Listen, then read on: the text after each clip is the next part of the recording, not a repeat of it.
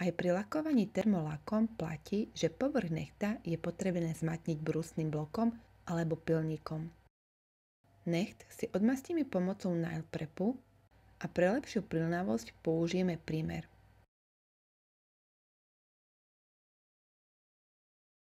Na takto pripravený necht nanesieme tenkú vrstvu nadlaku pod laku. Po nanesení necht vložíme do UV lampy na vytvrdnutie. Ak nadlak podlak vytvrdol, pokračujeme farebným termolákom. Pri lakovaní dbáme, aby gel lak nezašiel až na kožičku. Pre výraznú a intenzívnu farbu je potrebné termogel lak naniesť minimálne v dvoch vrstvách. Každú vrstvu vkladáme zvlášť do UV lampy alebo LED lampy. Ak sme s farbou spokojní, naniesieme záverečnú vrstvu a to opäť nadlak pod lak. Termogelák mení farbu pri zmene teploty.